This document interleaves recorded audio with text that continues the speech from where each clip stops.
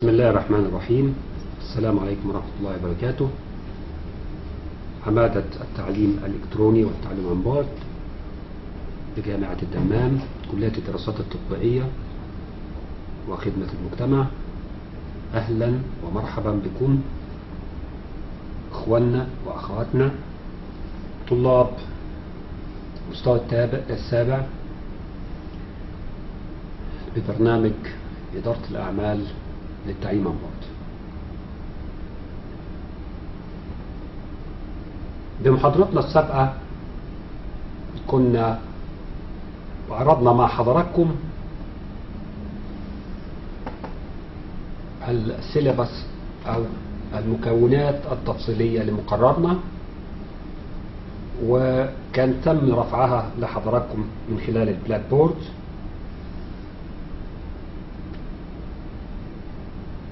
ثم قمنا باستعراض الفصل الأول وتناوله الشرح والتفصيل في محاضرتنا اليوم إن شاء الله. نلتقي معا حول الفصل الثاني أو الموضوع الثاني من مقررنا إدارة العمليات.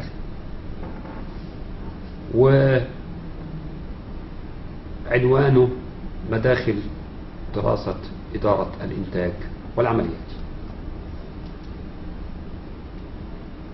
في فصلنا ثلاث نقاط أساسية. هنبدأ النهاردة نتعرف بقى على مفهوم إدارة الإنتاج والعمليات. وما هي المداخل لدراسة مجال الإنتاج والعمليات أو علم العمليات وفي النهاية في الجزء الثالث العلاقة ما بين إدارة المنتجات وإدارة المشروع.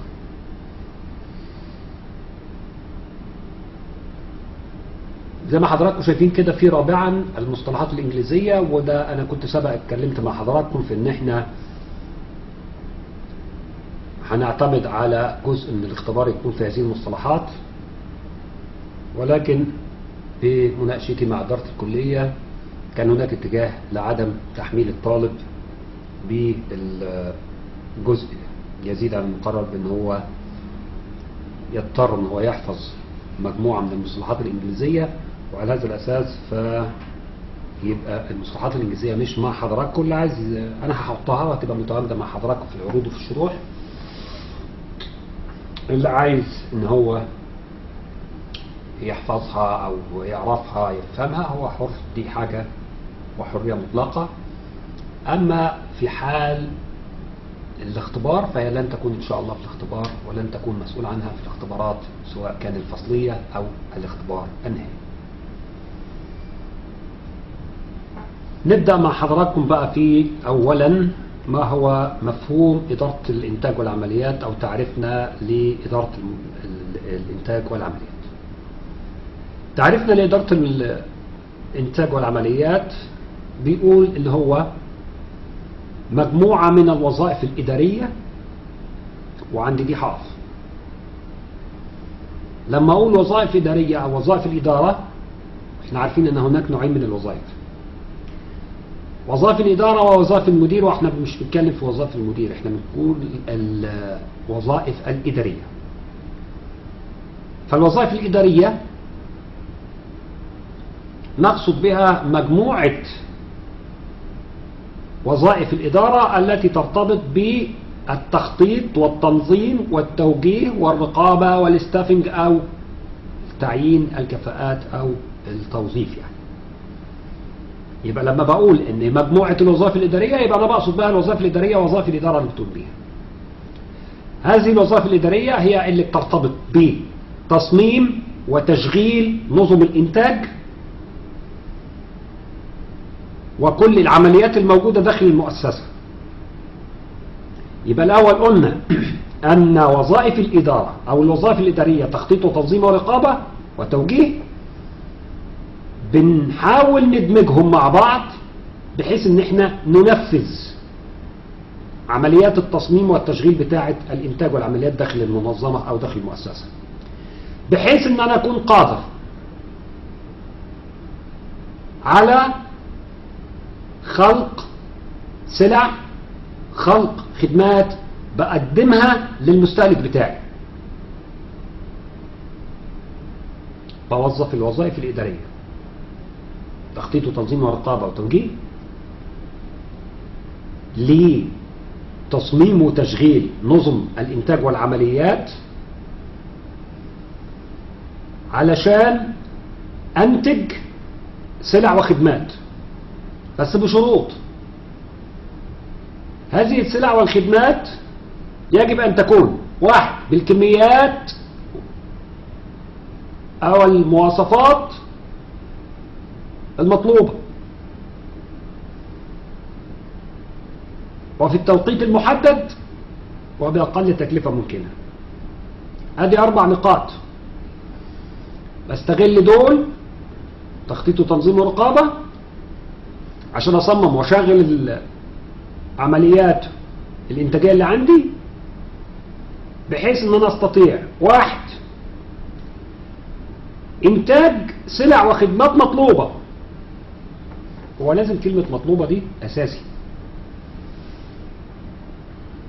يفترض يا حضرات إن أي مؤسسة تسعى لتقديم منتج أو خدمة للسوق لابد في بداية التفكير في تقديم هذا المنتج أو السلعة تكون بحثت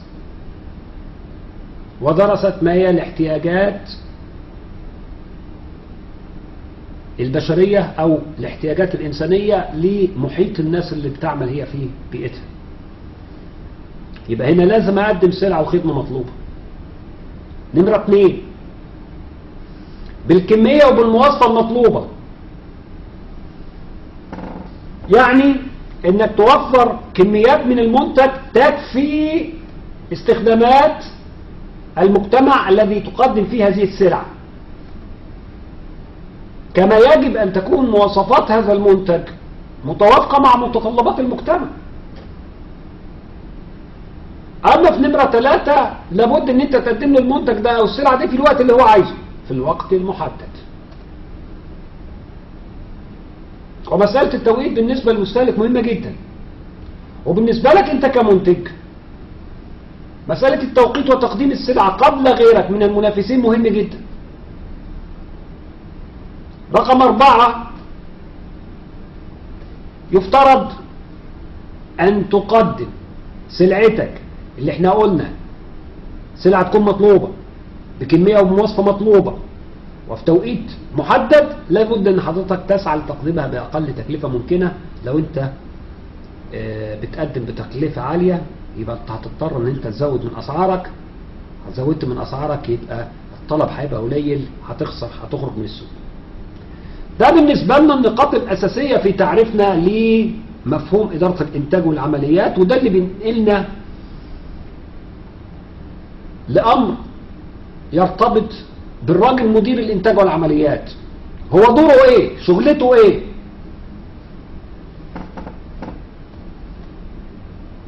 شغلته ومهمته في المؤسسة تنفيذ التعريف ده. يقوم كإدارة إنتاج وعمليات بمجموعة الوظائف الإدارية. عشان يخلق سلعة أو خدمة بالمواصفات اللي إحنا قلناها من شوية. فيبقى هنا مهام مدير العمليات إنه يحاول يوائم أو ينسق ما بين مجموعة الموارد المتاحة ليه؟ معتمدا على وظائف الإدارة اللي بتتضمن تخطيط وتنظيم وتكوين كفاءات وتوجيه ورقابة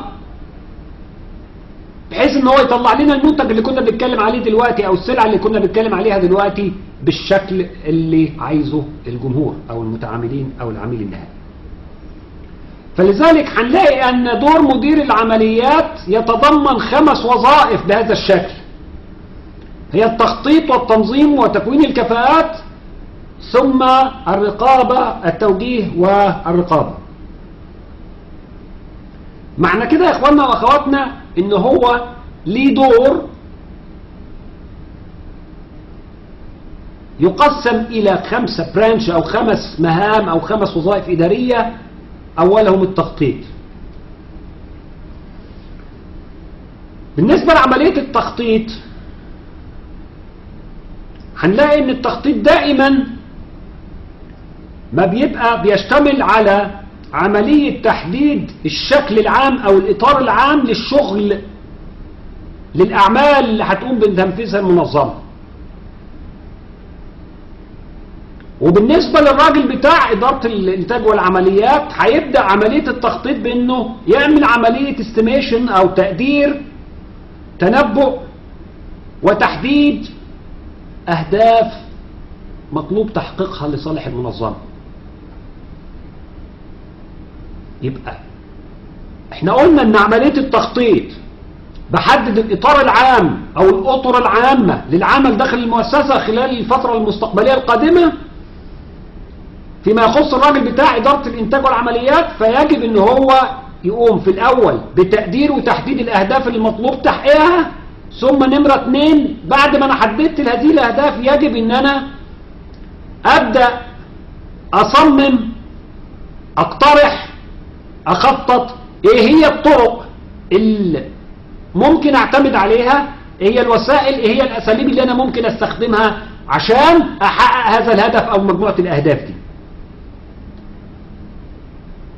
دي أول وظائف الراجل المدير. يبقى إحنا لما بنتكلم على دور مدير العمليات هيقوم قلنا بدور أو بتأدية وظائف الإدارة من خلال تنسيق الموارد المتاحة بالنسبة له اعتمادا على هذه الوظائف الإدارية وأول تلك الوظائف هي البلاننج التخطيط اللي إحنا دايما بنبقى عارفين أن التخطيط يقوم بوضع الأطر العامة السياسات العامة للمستقبل لأعمال المنظمة. هو هيحدد فيه حاجتين. أولا يقوم بعملية تقدير وتحديد للهدف أو الأهداف المطلوب تحقيقها للمنظمة نمرة اتنين يقول لنا كمان هنحققها إزاي. بعد ما حدد الهدف عليه إن هو يصمم أساليب يصمم طرق عشان يحقق الهدف ده.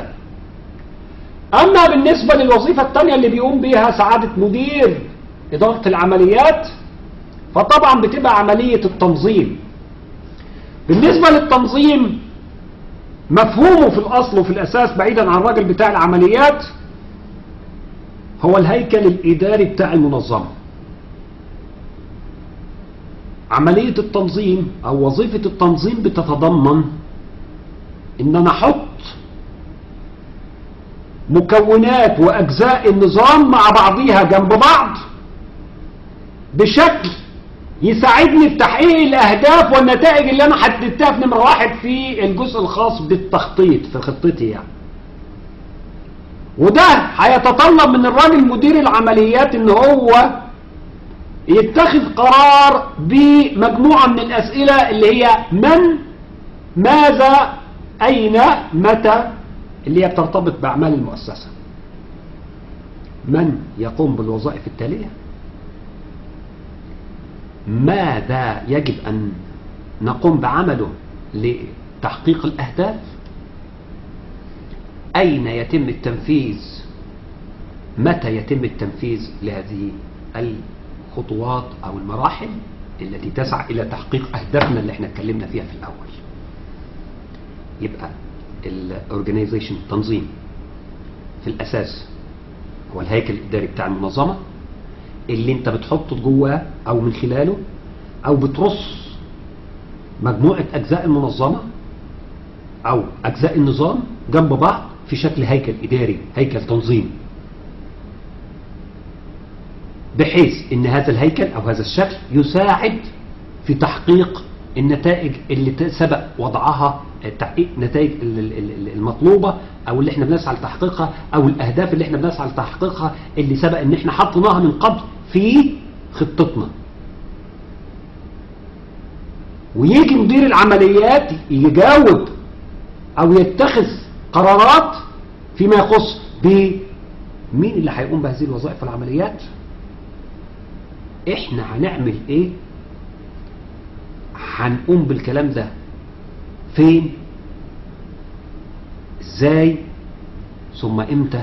هنقوم بكل وظيفة وبكل أداء. دي الوظيفة الثانية والمهمة الثانية من مهام الراجل مدير العمليات. ثم بعد كده بيتضمن مهامه الستافنج أو تكوين الكفاءات أو التوظيف أو التعيين. وعليه إن هو يقوم باختيار الأفراد اللي بيناسبهم إجابات من وماذا. أين ومتى؟ اللي يستطيعوا إن يجاوبوا على دول بالعمل. بشغلهم يعني. أختار الأفراد المناسبين ثم أقوم بتدريبهم. علشان اخد كفاءات محترمة باختياراتي أزيد من ثقل هذه الكفاءات وأحط لها خبرات من خلال التدريب علشان يقوموا بعملية تشغيل النظام. في الوظيفة الرابعة الدايركتنج أو التوجيه إحنا عارفين إن التوجيه هو عبارة عن إصدار أوامر وتعليمات. ربما كمان يكون تقديم مقترحات. عشان أساعد المرؤوسين بتوعي إن هم يأدوا وظائفهم بشكل مناسب وبكفاءة مناسبة في وقت إحنا محددينه ادي دور الراجل مدير العمليات في هذه الجزئية أو في هذه الوظيفة. يصدر أوامر تعليمات يقدم مقترحات بحيث أن هذه المقترحات تساعد في دفع المرؤوسين بتوعي لأداء الوظائف المنوطة بهم بكفاءة عالية بكفاءة إحنا عايزينها وفي وقت محدد وقت إحنا عايزينه. وينتهي في آخر وظائف الوظيفة الخامسة من وظائف الادارة اللي هي وظيفة الرقابة أو الكنترولينج. يبدأ يقيس ما تم من عمليات وهل نتائج ما تم من عمليات دي مقبولة ولا غير مقبولة؟ ولو كانت غير مقبولة يبدأ ياخد بعض الإجراءات التصحيحية إذا كان هو محتاج لده في حالة عدم القبول أو إذا كانت غير مقبولة.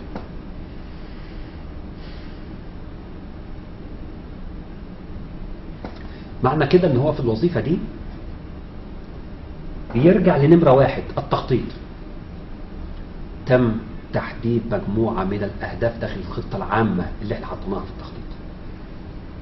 هذه الأهداف غالبا ما بتكون بشكل رقمي. تحقيق حد انتهاء معين.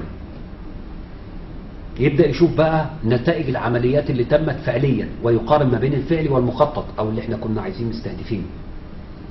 قد تظهر هناك بعض الانحرافات يا اخوانا وأحيانا قد تكون انحرافات حميدة أو محمودة انحرافات إيجابية وقد تكون انحرافات غير مرغوب فيها إذا كانت انحرافات سلبية. الانحراف الإيجابي إذا كان ما تم فعلا هو أكبر أو أعلى من المخطط. في الحالة دي هو عليه أن يكتشف ما هي الأسباب التي أدت إلى تلك الزيادة عشان يحاول أن هو يدعمها عشان يقدر أن هو يزيد من حجم أو من حجم إنتاجه. أما إذا كانت الانحرافات انحرافات سلبية فده معناته أن هناك بعض من القصور بعض من العيوب اللي بتعاني منها مؤسستي. وعلي أن أفحص الأسباب واتخذ بعض القرارات أو الإجراءات التصحيحية لتصحيح هذه الأخطاء. ده جزء أولا المرتبط بمفهوم إدارة الإنتاج والعمليات والذي تناولنا فيه دور أو مهام الراجل مدير الإنتاج والعمليات نيجي للجزء الثاني وده اللي هيطول معانا. ما هي مداخل دراسة الإنتاج والعمليات أو المدارس اللي موجودة في دراسة الإنتاج والعمليات أو المدارس أو الناس البايونيرز اللي قدموا لنا علم الإنتاج والعمليات. عندي أربع مداخل لدراسة الإنتاج والعمليات. هذه المداخل الأربعة هي مدخل اتخاذ القرارات ومدخل النظم والمدخل الديناميكي أو التصميم وغالبا بنسميه التصميم. ثم بعد كده مدخل النماذج.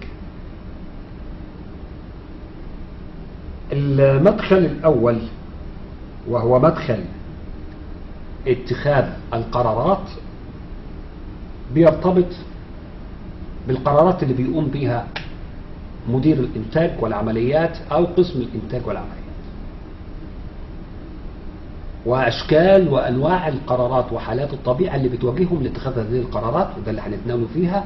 ثم المدخل الثاني هو مدخل النظم والمدخل الثالث هو مدخل التصميم. أنا بربطهم ببعض.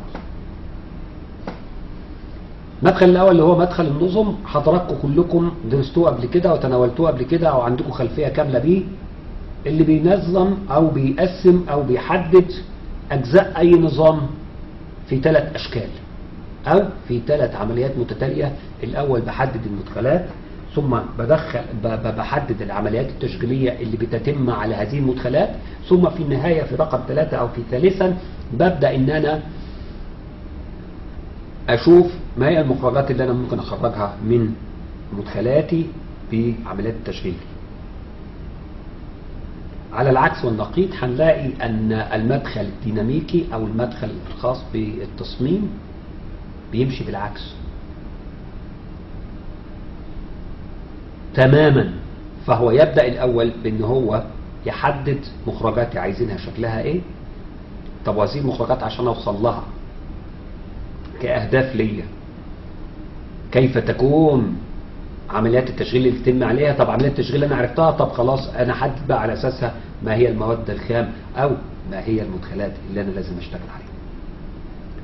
أما بالنسبة لمدخل النماذج إن أنا بحول كل مشكلة عمليات أو كل مشكلة إنتاج وعمليات إلى نموذج إلى موديل. هذا النموذج يسهل من عملية دراسة المشكلة لأن غالبا ما بتكون هذه المشاكل معقدة ومترابطة. فبنسهل وبنبسط الأمر بأن إحنا نعمل لنا مجموعة نماذج عشان نحل المشكلة. هنشوف ده دلوقتي. الأول بالنسبة لمدخل اتخاذ القرارات ال decision making approach. طبيعي يا أخواننا وأخواتنا إن اتخاذ القرار أو عمليات اتخاذ القرار تعتبر مش بالنسبة للإنتاج والعمليات مش بالنسبة للإدارة أو بالنسبة للمؤسسة بالنسبة لنا حتى كبشر في حياتنا العامة. عملية اتخاذ القرار تعتبر هي العمود الفقري لحياتنا. فإذا كنا كبشر عملية اتخاذ القرار هي العمود الفقري لينا ولحياتنا فبالنسبة للعمليات في داخل المنظمات هنجد أن إدارة اتخاذ القرار وعملية اتخاذ القرار هي العمود الفقري للإدارة والوظيفة الرئيسية لها. عملية اتخاذ القرار هي العمود الفقري للإدارة والوظيفة الرئيسية لها. على أساس هذه العمود الفقري أو على أساس هذه الوظيفة أو على أساس هذه العملية اللي هي عملية اتخاذ القرار. بنحدد. اسلوب شغلنا في المستقبل شكله إيه؟ بنحدد كيف يمكن نجاح الإدارة ولن يمكن لأي إدارة أن تنجح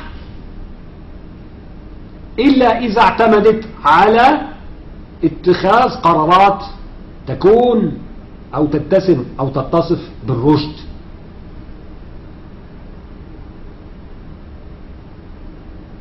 نظرية اتخاذ القرار أو المدخل نفسه بيعتمد على إن أنا بحدد الأول إطار بشكل علمي عشان آخد القرار.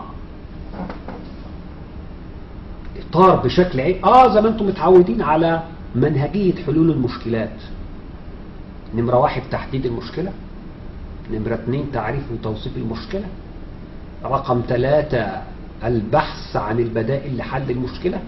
رقم أربعة توصيف آسف ال- ال- ال- تصفية البدائل المتاحة ثم البدائل المتاحة لما بيوصلوا لبديلين أو ثلاثة أبدأ إن أنا أختبرهم وغالبا ما بتعتمد على أساليب كمية عشان أخد قرار بالبديل صاحب أعلى عائد. إذا كان عندي بديلين أو ثلاثة طبعا هذا الأسلوب العلمي أو المنهجيه العلمية في حل المشكلات غالبا ما بيعتمد على أساليب كمية على رياضيات. عشان أقدر افاضل أفاضل ما بين بدايل واقيم هذه البدايل خاصة إن غالبا ما بتكون قرارات بترتبط بعنصر من عناصر المخاطرة. عشان أقدر أتنبأ بالنتيجة اللي أنا ممكن أوصل لها شكلها إيه لكل بديل عشان آه، أقدر أوصل لقرار بشكل مناسب وأختار بديل بشكل مناسب بديل أفضل بالنسبة لي. يا اخوانا البديل الأفضل هو صاحب اعلى عائد. حتى لو كان الفرق في العوائد ريال واحد. البديل الأفضل هو البديل صاحب أعلى عائد.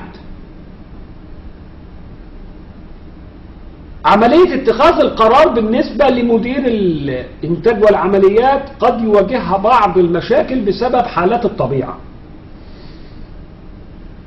فحالات الطبيعة اللي إحنا المفروض عارفينها من أيام ما كنا في المستوى الثاني ودرسناها في مبادئ الإدارة فحالات الطبيعة ثلاث حالات طبيعة. قد يكون حالة رواج أو استقرار أو كساد. أدي حالات الطبيعة الثلاثة الرواج والاستقرار والكساد. ولأن إحنا بنقول احتمال أن يكون هناك رواج أو كساد أو استقرار فعادة ما بيرتبط ده باحتمالات. عادة ما بيرتبط باحتمالات لتحقق تلك النتائج أو البدائل بنسب معينة.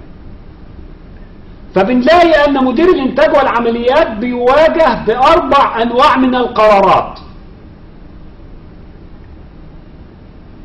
قد يتخذ قرار في حالة تأكد أو بنسميها أحيانا التأكد التام أو يتخذ القرار في حالة عدم تأكد أو يتخذ القرار في حالة صراع مع المنافسين طبعا أو يتخذ القرار في حالة مخاطرة الأنواع الأربعة دي مهم بالنسبة لحضراتكم أنتوا بقى التفريق ما بينها وأنواع القرارات الأربعة دي غالبا ما هتلاقيها موجودة في أسئلة فيها بالذات الصح والخطأ. أو بعض التعريفات اللي بنربطها بشكل خاطئ عشان تكون فيها اختيار لصح وخطأ أو إن أنا بدي لحضرتك التعريف وأقول لحضرتك دي حالة إيه؟ هي حالة تأكد ولا عدم تأكد ولا مخاطرة؟ هنبدأ أولا بأول نوع من أنواع هذه القرارات. ولكن بعد ما نستعرض مع حضراتكم أساس اختيار البديل عند اتخاذ القرار. يعني قبل ما اخد قرار بس شوف الأول أو تعرف الأول أو نتعلم مع بعض. أنا هختار البديل إزاي؟ زي ما قلت لحضراتكم من شوية أن البديل الأفضل لو عندي عدة بدايل هو صاحب أعلى عائد صاحب أعلى منفعة. حتى لو كان الفرق بينه وبين اللي بعديه ريال واحد هو صاحب أعلى عائد. عشان تحسب العائد ده أو عشان تحسب قيمة البديل أو اللي أنت على أساسه هتتخذ قرار فبنضرب حاجتين في بعض. المنفعة المتوقعة لكل بديل في احتمال حدوث هذه المنفعة. يعني مثلا يجي يقول لك أنا عندي بديلين أو ثلاث بدايل. البديل الأول منفعته 100000 ريال. ونسبة احتمال تحققه مثلا 20%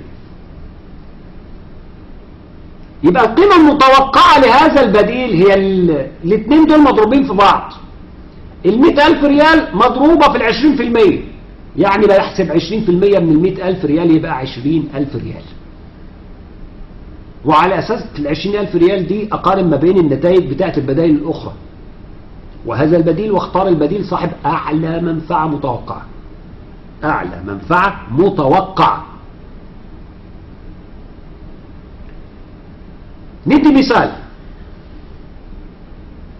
المثال قدام حضراتكم. إذا كان قدامنا بديلين من المواقع وهو الموقع ألف اللي منفعته المتوقعة 10000 ريال.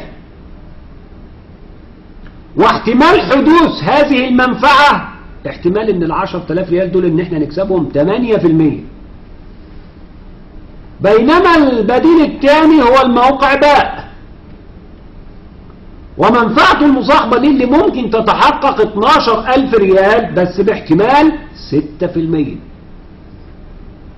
كيف يمكن اختيار البديل الأمثل؟ عشان كيف يمكن اختيار البديل الأمثل؟ هحسب المنفعة أو النتيجة المتوقعة لكل موقع من الموقعين أو لكل بديل من البديلين بنفس المعادلة أو بنفس العلاقة اللي إحنا قلنا عليها من قبل كده منفعة متوقعة لكل بديل مضروبة في احتمال حدوث هذا البديل. تعالوا للموقع ألف. زي ما قدام حضراتكم. العائد المتوقع من البديل ألف 10000 ريال هضربها في 8 المية هيديني 800 ريال. أما البديل الثاني فهو الموقع باء العائد المتوقع 12000 ما افرحش إن في واحد 10 وواحد 12 لا نسبة احتمال. أو قيمة احتمال حدوث هذا البديل.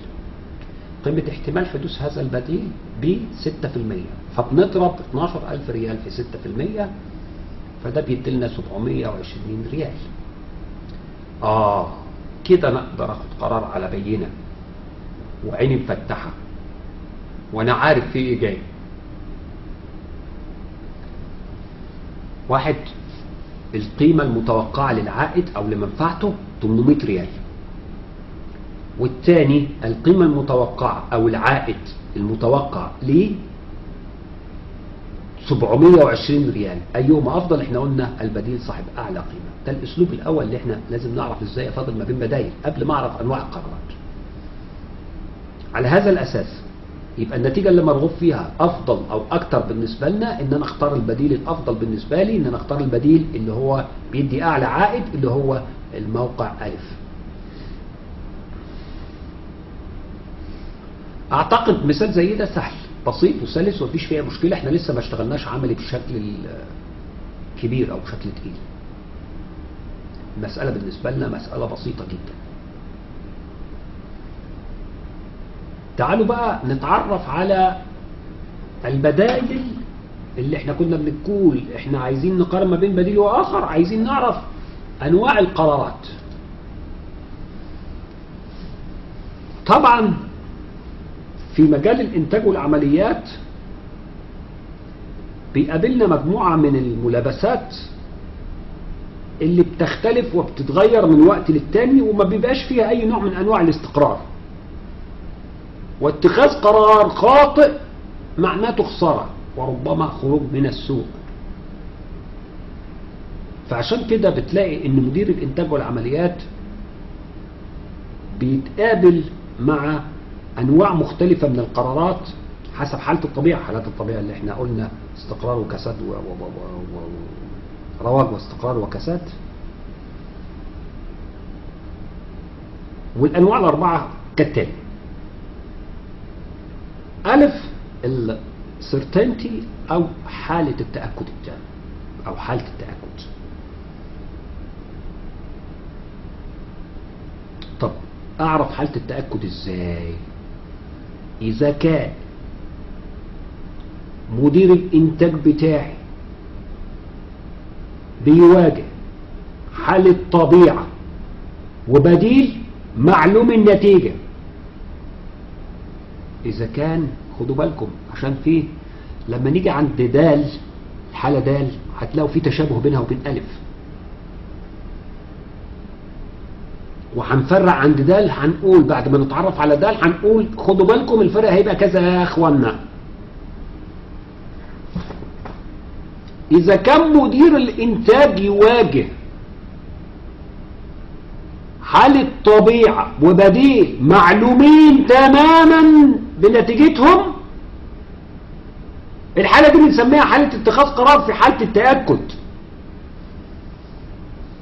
يعني مطروح عليه بديل واحد. ادي الفرق المهم جدا اللي لازم تاخدوا بالكم منه دلوقتي. في ألف أنه مطروح عليه قرار واحد بديل واحد. ما عندوش بديلين هو بقى هو حاجة واحدة اللي مطروح عليه مشروع واحد. ويعلم تماما وبكل تأكيد ما هي حالة الطبيعة بتاعت هذا البديل وما هي؟ النتيجة المتوقعة لهذا البديل تحديدا. يعني مثلا يجي واحد يقول له والله إحنا عندنا مشروع آه إنشاء ترمبة جاز والمشروع ده من المتوقع. قال له مشروع واحد ها؟ من المتوقع إن يكون عوائده السنوية مئة ألف جنيه. يعني كده هو حالة الطبيعة ونتيجة البديل معلومة. متوقع أن تكون مئة ألف جنيه. ما قالوش حاجة تانية. بس معروف إن هو وأنا قلت إيه؟ هو بيقول له إيه؟ والله ده هو متوقع وبنسبة مؤكدة وبدرجة عالية إن هو يجيب لنا مئة ألف جنيه في السنة. أدي الحالة الأولى من حالات الطبيعة آسف من حالات اتخاذ القرار. الحالة الثانية الحالة ب لما يكون مدير الإنتاج ما يعرفش احتمالات الحدوث بتاعت البدائل المتاحة. يعني واحد يجي يديله بديلين أو ثلاث بدائل يقول له البديل الأولاني احتمال احتمال إنه يجيب لك 100000 ريال. البديل الثاني احتمال يجيب لك 120000 ريال. البديل الثالث احتمال يجيب لك 70000 ريال. وسكت. انتهينا. معنى كده إن هو ما حددوش. هو قال له ألف وب وج ألف بمية بمئة ألف ريال وب بمية وعشرين وجيم بسبعين. بس ما قالوش احتمالات الحدوث تفرق تفرق كتير جدا. ليه تفرق كتير جدا؟ يفترض يا اخوانا إن في المثال اللي فات لو اعتمدنا على إن إحنا نختار بديل من البديلين دون النظر لأي احتمالات. فكنا هنختار البديل الثاني اللي هيدي لنا 12000 ريال. صح كده؟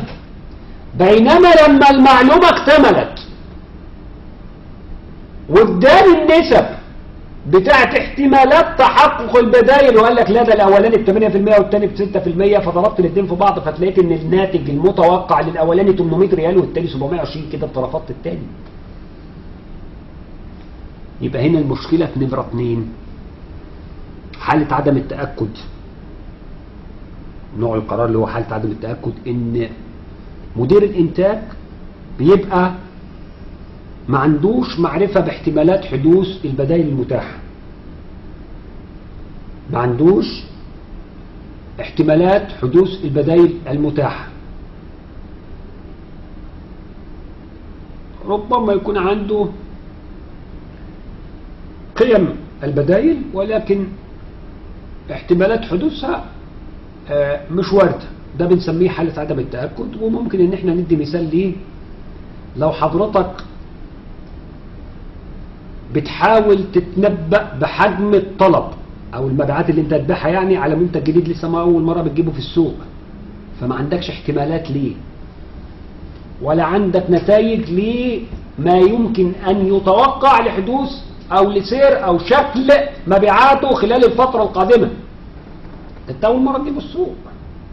لو أنت عايز تتنبأ بمبيعات أو بحجم مبيعات أو بحجم الطلب على منتج من المنتجات اللي موجودة في السوق بسيطة.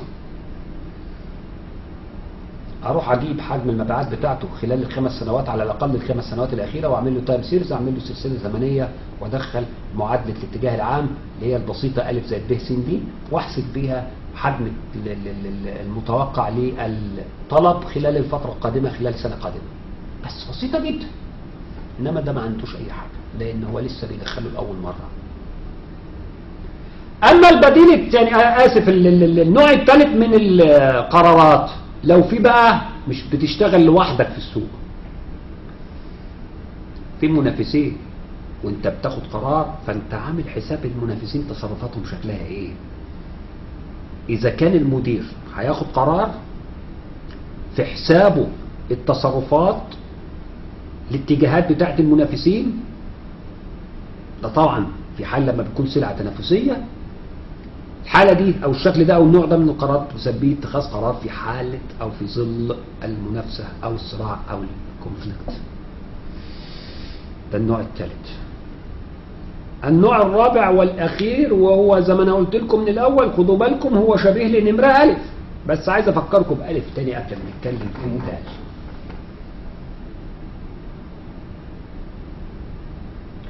قلنا إن الحالة الأولى حالة التأكد إن الراجل مدير العمليات بياخد قرار معلوم حالة الطبيعة والنتائج المتوقعة منه. بشكل مؤكد. أما في دال اللي هي إحنا بنقول إن هي شبيهة الالف مش بديل واحد زي ألف. كل حاجة معلومة. ولكن توجد عدة بدائل محتملة. ومتخذ القرار عارف العوائد المتوقعة ونسب أو احتمالات حدوثها لعدة بدائل. زي المثال اللي كنا بنحله دلوقتي الموقع ألف الموقف ب موقع ألف الموقع ب لا ينتمي لألف لا ينتمي لنوع القرارات ألف. ولكن ينتمي لنوع القرارات دال اللي هي حالة اتخاذ القرار في ظل المخاطرة الريسك. يعلم أن هناك بديلين ثلاثة يعلم عوائد البدائل يعلم احتمالات تحقق هذه العوائد. دي بنسميها مخاطرة. تقول لي طب ما أنت كنت بتقول لنا من شوية إحنا نختار البديل الأفضل والبديل الأعلى. آه. دي حالات نظرية يا اخوانا نرجع للمثال اللي كنا بنتكلم فيه. البديل الاولاني هيجيب لي 800 والبديل الثاني 720 في بعض الأحيان قد يحدث أن تكون التقديرات اللي أنت قمت بالحساب عليها قد تكون خاطئه الراجل اللي قام بها مش كفاءة. الراجل اللي جمع لك المعلومات مش كفاءة. المعلومات مغلوط فيها. المعلومات لم تعدل. المعلومات لم يحدث لها ابديتنج ما حصلهاش تعديلات. ما حصلها- ما حصلهاش تحديث فعلى هذا الأساس قد تأخذ قرار خاطئ. والخطأ هنا بقى هيبقى تقيل. مثلا لو افترضنا برضه في مثالنا اللي كنا بنتكلم فيه يا أخواننا وأخواتنا أن البديلين المطروحين ألف بيجيب 800 والتاني بيجيب 720 فلنفرض أن حضرتك طبقت البديل رقم ألف ففي نهاية السنة تلاقيت أن هو جاب لك 650 ريال بس. تقول لي طب ما هو حقق ربحية مش خسر يعني. هو حقق ربحية مقدارها 650 ريال. أقول لك آه ولكنه خسر الفرصة الاستثمار في البديل باء اللي بيجيب 720 وفرق الخسارة ما بين ال 650 و 720 70 ريال. بنسميها تكلفة الفرصة البديلة. اخترت اختيار خاطئ اخترت البديل ألف اللي انت كنت معتقد ان انت تجيب منه 800 ريال جاب لك 650 بس. فخسرت. مش معنى خسرت هنا اللي إحنا نقصدها ان هو المشروع خاسر. المشروع ربح 650 ريال. ولكن هناك تكلفة فرصة بديلة. تكلفة فرصة بديلة الفرصة البديلة المتاحة اللي كانت اللي هي رقم ب. ما انت ما خدتش قرار بيها وب كانت هتجيب لك 720 ودي جابت 650 يبقى في فرق 70 ريال كنت انت اولى بيهم. أو يعتبروا بالنسبة لك تكلفة الفرصة البديلة هنا هي 70 ريال. خسرت 70 ريال. ادي الخسارة اللي بنتكلم عليها. ليس المشروع مشروع خاسر. لا مربح. وكسبني ربحني 650 ريال. بس أنا كنت ممكن أربح أو أكسب رقم أكبر وهو 720 ريال. طب ليه اخسر أنا المبلغ الفرق؟ ده اللي بنسميه تكلفة الفرصة البديلة أو ما يسمى بتكلفة اتخاذ قرار خاطئ. دي طبعا أنواع القرارات. نيجي بقى للمدخل الثاني وهو مدخ- مدخل النظم. ال system approach مدخل النظم. زي ما أنا قلت في البداية وإحنا بنعرف إحنا هنتكلم في إيه النهارده. حدد لك بشكل محدد إن أي عملية إنتاجية بتتقسم لثلاث مهام ثلاث وظائف ثلاث أجزاء. هي المدخلات والتشغيل والمخرجات. مدخل النظم دائما ما يبدأ بدراسة المدخلات الأول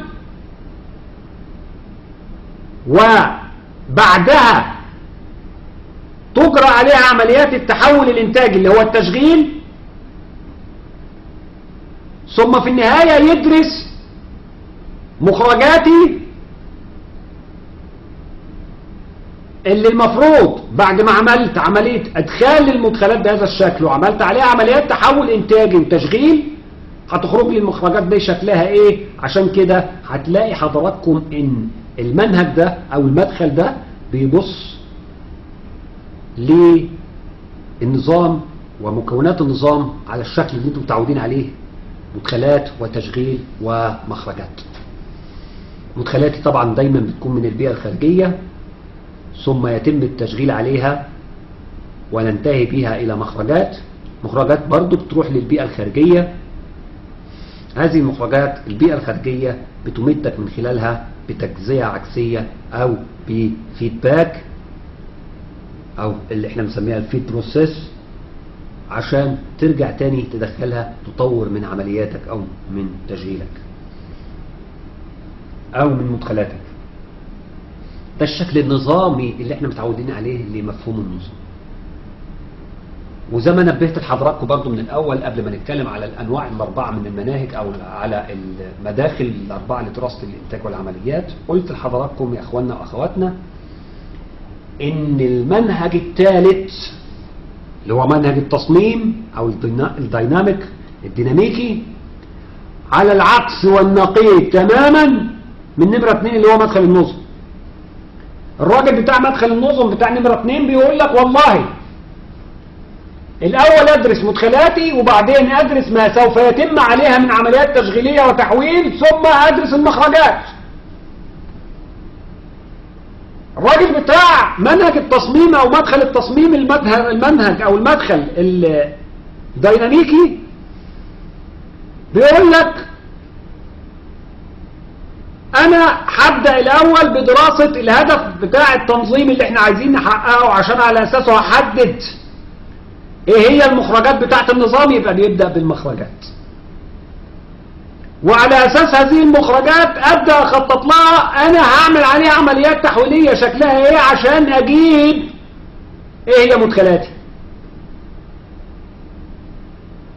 تاني مدخل ده شوية عشان هو ماشي بالمقلوب. بالعكس فاحنا هنمشي معاه. يعني هو الأول يقول لك إيه هو هدف المنظمة اللي حطها أهداف التنظيم إيه؟ الهدف كذا كذا كذا كذا. خلاص تعالى بقى. الهدف اللي أنت عايز تعمله ده يبقى ده المخرج بتاعي. فيستمد من الأهداف دي مخرجات النظام. عشان أوصل للمخرج ده أعمل عمليات تحويلية قبل منها شكلها إيه؟ عشان أوصل للمخرج ده. أنا عايز المخرج الفلاني بالشكل الفلاني بالمواصفات الفلانية. يبقى أنا لازم أعمل عليه عمليات تحويلية وإنتاجية بالشكل الفلاني. واحد اثنين ثلاثة أربعة. درس عمليات التشغيل. طيب ده أنا عايز المخرج ده. وخلاص أنا اتفقت أو وصلت أو درست أن عمليات التشغيل والتدوير اللي هتدور عليها هي كذا وكذا وكذا وكذا. إيه المخرجات اللي تخدم ده؟ أبدأ أدرس مخرجات اللي أنا محتاجها عشان أعمل ده. فهو جابها من الخلف للأمام. يبقى أنا عندي المدخل نمرة اتنين. مدخل النظم. تتابعه أو سيره كان بشكل أمامي. أما المدخل الديناميكي تتابعه أو سيره كان بشكل خلفي. من الخلف للأمام. ده العكس والنقيض تماما من المدخل الثاني اللي هو كان مدخل النظم. يتبقى لنا في ثانيا مدخل أخير وهو مدخل النماذج اللي إحنا قلنا لما الدنيا بتبقى صعبة فبنبسطها باستخدام نموذج. واستخدام النماذج ليها أسباب. لما نتكلم على منهج النماذج أو ال model approach لازم أعرف يعني إيه نموذج. ببساطة بكلمتين اتنين تلاتة. النموذج هو أبسط تمثيل للواقع. عايز أمثل الواقع بس بشكل مبسط. ادي معنى النمذجه وبنعتمد على ال models على النماذج في عملية أو في مجال الإنتاج والعمليات بشكل مكثف جدا. تعمل ماكت لماكينة إحنا عايزين نعملها. آلة ومعدة هنصممها فبنعمل لها ماكت. حتى المباني حتى البيوت حتى ال حضرتك ممكن بتروح عايز تشتري بيت أو عايز تشتري فيلا عايز تشتري. ف بيعرض عليك ماكت للتصميم. أو أنت عندك أرض وعايز تبني عليها. بيعرض عليك maquette. ال maquette اللي بيعرضه لك ده النموذج اللي بيعرضه لك للبيت اللي أنت عايز تبنيه هو ده اللي إيه الموديل أو النموذج اللي هو بيعملها زيها برضه المشاكل اللي قد تواجه إدارة الإنتاج والعمليات. يحولها إلى مجموعة من النماذج المبسطة. إحنا لما عرفنا النماذج قلنا النموذج هو تبسيط أو تمثيل مبسط للواقع. يا سلام. فأنا هبسط يبقى أنا هقدر أحل مشاكلي. وإحنا بنقول أن أدارة الإنتاج والعمليات بتشتغل وبتعتمد على النماذج بشكل مكثف لأسباب. واحد. إن. المشكلات الإنتاجية ليها متغيرات كتيرة وغالبا ما بتكون معقدة ومتشابكة. طب ما أنا عايز أبسط المشابك ده وعايز أبسط المعقد ده فأنا بعمل نموذج. النموذج ده بيبسط لي زي ما إحنا قلنا تمثيل مبسط للواقع فأنا عايز أعمل تمثيل مبسط للنموذج المعقد والمتشابك ده. السبب الثاني إن أسلوب النماذج ده بيبسط المشكلة. هاخد جزء جزء واحل المشكلة واحدة واحدة السبب الثالث لو حضرتك قدرت تركز على نموذج مبسط وهذا النموذج حاطط حضرتك فيه بعض المتغيرات الهامة فقط مش المتغيرات الفرعية وتبقى انت عقدت الدنيا لا انت حاطط بس المتغيرات. الهامة بالنسبة لك هتستطيع إن أنت تاخد قرار إنتاجي بشكل سليم إذا أنت ركزت على المتغيرات الهامة في هذا النموذج. وتغاضيت عن المتغيرات اللي ملهاش دخل ملهاش تأثير على المشكلة قوي. ملهاش تأثير على المشكلة لا ملهاش تأثير على المشكلة قوي ليها تأثير. أدرس على الأقل الأول المتغيرات الأساسية المؤثرة تماما على مشكلتي. في نموذج وبعد ما تتحل دي أكيد هقدر أحل المشكلة المرتبطة بالمتغيرات البسيطة المتغيرات المتغيرات اللي لها تأثير بسيط على المشكلة. النماذج كمان يا اخوانا بتخفض تكاليفي في العملية الإنتاجية. بعمل نموذج عشان أبسط تكاليفي وأقدر أوصل ليه؟ إزاي أنفذ ده بأبسط الطرق إزاي أقدر أنفذ ده بأقل تكلفة؟ يبقى كده فعلا إحنا بننتهي إلى أربع حاجات. أن كثرة وتعقد وتشابك المشكلات الإنتاجية كثيرة المتغيرات يؤدي إلى استخدام النماذج. إمكانية تبسيط المشكلات دي عن طريق أسلوب النماذج فبعتمد على النماذج. برضه بعتمد على النماذج ليه سهولة اتخاذ القرار الإنتاجي إذا إحنا ركزنا النموذج بتاعنا على المتغيرات الهامة الضرورية المؤثرة بشكل كبير على المشكلة وتغاضيت عن المتغيرات اللي ملهاش تأثير. قوي على المشكلة بتاعتنا الإنتاجية. بعتمد على النماذج كمان عشان إن أنا لو بستخدم النماذج في حل مشاكلي من الممكن جدا إن أنا أخفض من تكاليفي الإنتاجية. يتبقى لنا في هذا الفصل الجزء الثالث ثالثا والأخير.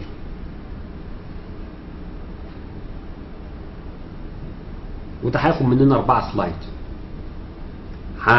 هنتعامل مع نقطتين في العلاقة ما بين إدارة المنتجات وإدارة المشروع في إدارة منتج وإدارة مشروع. إدارة المنتج على قد المنتج وإدارة المشروع الكبير.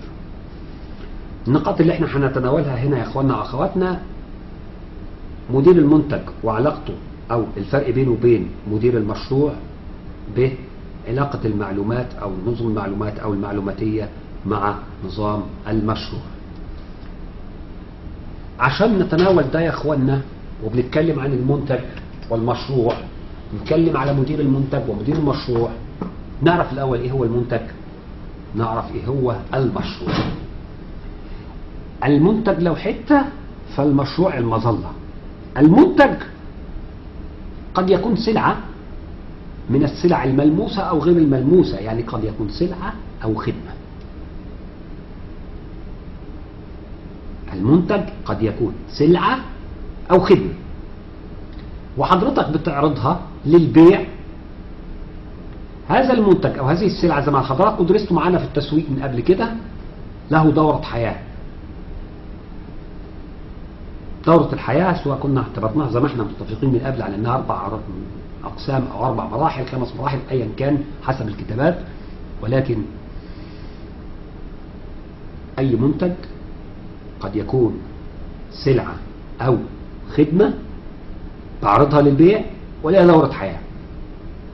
دور الراجل بقى مدير المنتج هنا إن هو يقوم بعملية تطوير المنتجات دي ويقدمها للسوق في فترة زمنية محددة. ده معنى المنتج. أما المشروع بنلاقي أن المشروع ده مش منتج واحد لا. سلسلة من الوظائف والمهام والأنشطة اللي بتساعدني في إن أنا أخلق منتج ومنتجات ودعم تقديم المنتج. لأن تقديم المنتج نفسه هو النتيجة النهائية لأي نشاط صناعي. أي نشاط صناعي نتيجته النهائية أو الهدف أو المين فاليو بتاعته إن هو يقدم منتج نهائي للجمهور. ده ببساطة الفرق بين المنتج والمشروع. المنتج مش نشاط إنما المشروع نشاط. المنتج جماد إنما المشروع فيه روح. ببساطة تاني المنتج قد يكون سلعة أو خدمة تعرضها للبيع. وليها دورة حياة الراجل مدير المنتج ده دوره إنه يطور المنتجات دي ويقدمها للسوق في وقت محدد. أما بالنسبة للمشروع هنلاقي إن المشروع عادة ما بيكون عبارة عن مجموعة من الوظائف المهام الأنشطة اللي بتساعدني في إن أنا أخلق منتج جديد. أو أدعم تقديم منتج أو أطور منتج. ليه؟ لأن تقديم المنتج ده هو الهدف هو النتيجة النهائية لأي نشاط صناعي موجود. بعد ما عرفنا يعني إيه منتج بعد ما عرفنا يعني إيه مشروع تعالوا بقى نتكلم في النقطتين بتوعنا اللي هو أولهم مين هو مدير المنتج ومين هو المدير المشروع. ده إيه حكايته وده إيه حكايته. مديري المنتج. هم الناس اللي إحنا ممكن نعينهم عشان يكونوا مسؤولين عن خط إنتاج بتاع إنتاج منتج معين. مدير المنتج. هم من يتم تعيينهم عشان يكونوا مسؤولين عن خط إنتاج منتج خط منتج لإنتاج منتج واحد. تقول لي يعني ممكن يكون عندي كتير من مدير المنتجات إذا كان عندك كتير من المنتجات. لكل منتج من منتجاتك يكون له مدير. طيب. إيه بقى الفرق بينه وبين مدير المشروع؟ الراجل مدير المشروع أو مديري أو مدير المشروع دول بقى ناس بنعينهم عشان يكونوا مسؤولين عن إيه؟ كالتالي بقى كتير. تخطيط. وتنظيم. الله. ورقابة. يعني هيقوموا بالوظائف الإدارية اللي كنا بنتكلم عليها في أول الفصل النهاردة. على هذا الأساس يبقى كمية العمل هو كمية المسؤولية بالنسبة للراجل مدير المشروع أكبر لأن المشروع أكبر. المشروع كله. يبقى هنا تاني مدير المشروع الناس اللي إحنا بنعينهم عشان يبقوا مسؤولين عن التخطيط والتنظيم والرقابة على العمليات بتاعة المشروع طبعا وكمان يبقوا عندهم القدرة على إن هم يوفروا لي مواردي يوفروا لي مواردي اللي ممكن تحقق لي الهدف بتاع المشروع.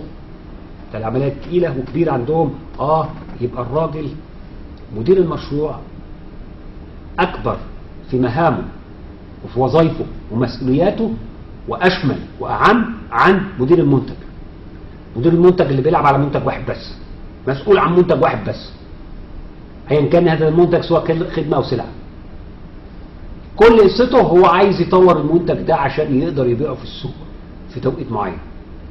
أما الراجل بتاع المشروع ده بقى اللي ليلته تقيلة الشيلة عنده كبيرة شوية. بيعمل إيه؟ تخطيط وتنظيم ورقابة على العمليات بتاعة المشروع وكمان مش ده بس كوظائف إدارية بل بالعكس هو يعمل نوع من توفير الموارد عشان يحقق الأهداف بتاعة المشروع.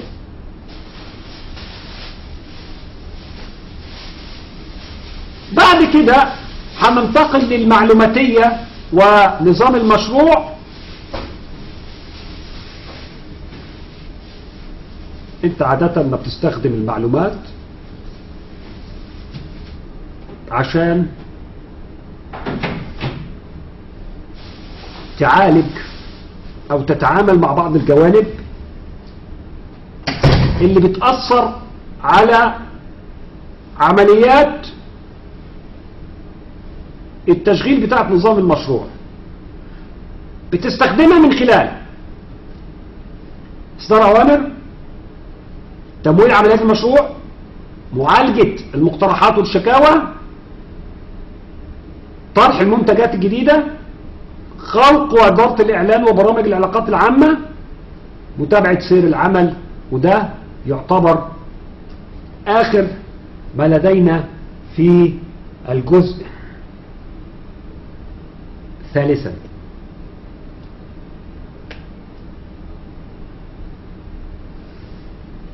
ببساطة تاني بالنسبة للجزئية بتاعت ثالثا وبسرعة قلنا اتكلمنا في نقطتين مدير المنتج ومدير المشروع والمعلومات ونظام المشروع. قلنا المنتج سلعة أو خدمة بعرضها للبيع لها دورة حياة محددة. الراجل مدير المنتج بيبقى مسؤول عن تطوير المنتج ده وعن إن هو يعرضه في الأسواق في فترة زمنية محددة. أما بالنسبة للمشروع هنلاقيه إن هو سلسلة بقى من الأنشطة. وظائف المهام اللي دورها إن هي تخلق منتج إن هي تدعم تقديم منتج. ليه؟ لأن تقديم المنتج عادة ما يمثل النتيجة النهائية لنشاط المشروع الصناعي. فجينا ميزنا ما بين مين هو مدير المنتج ومين مدير المشروع. مدير المنتج الناس اللي بنعينهم عشان يبقوا مسؤولين عن منتج. عن خط منتج واحد. إنتاج منتج واحد. أما الناس اللي هم مديرين المشروع دول الناس اللي بيبقوا مسؤولين وشايلين شيلة كبيرة شوية. وظائفهم الإدارية تخطيط وتنظيم ورقابة العمليات التشغيلية داخل المشروع. كمان كمان مشكلته ان هو يوفر لي الموارد والمصادر اللي أنا من خلالها أستطيع إن أنا أحقق أهداف المشروع. أما بالنسبة بقى للمعلوماتية ونظام المشروع قلنا إن لما باجي أستخدم إدارة المعلومات ليه جوانب. عشان يأثر على عملية نظام المشروع نفسه. ده بيتم من خلال إصدار الأوامر تمويل عمليات المشروع معالجة وإدارة المقترحات والشكاوى طرح المنتج خلق وإدارة الإعلان ومتابعة سير الأعمال. تبقى لنا الجزء الرابع عن الترمينولوجيز أو المصطلحات.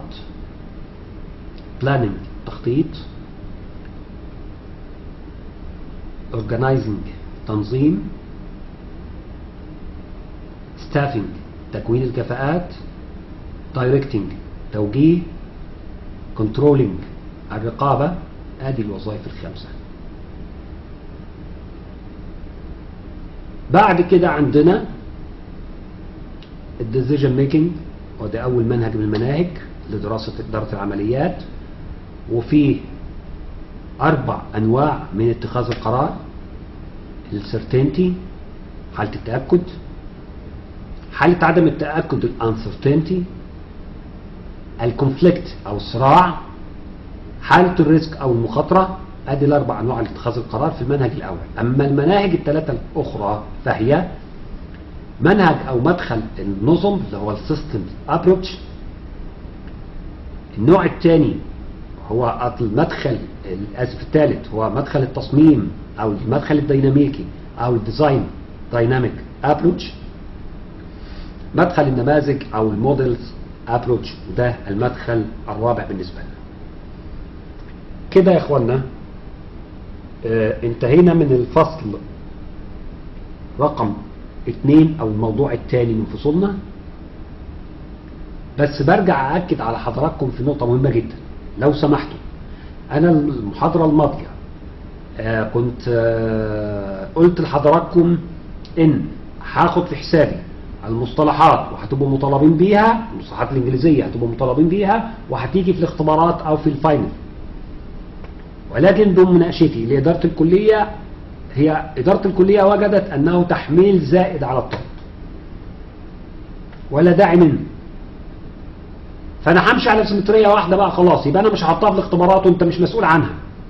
اللي عايز يتحملها اللي عايز يعرفها لنفسه لشغله لعمله أوكي دي حاجة ترجع لك أنت أما بالنسبة للناس اللي هي ما عندهاش رغبة ليها أو شايفة إن هي قدراتها ضعيفة في اللغة الإنجليزية أو إن هي من الناس اللي ما بتسعاش لإن هي تعدل أو تطور من نفسها فهي برضه لها مطلق الحرية. أما بالنسبة لنا ولعملنا ولاختباراتنا فلست حضرتك مسؤول حضرتك مش مسؤول ابدا عن المصطلحات الإنجليزية. ده اللي أنا بدأت بيه في بداية الكلاس واللي أنا بنهي بيه في محاضرتنا النهارده. آه إن شاء الله أترككم في رعاية الله وأمنه وإن شاء الله ألقاكم بإذن الله على خير في المحاضرات القادمة بإذن الله. والسلام عليكم ورحمة الله وبركاته.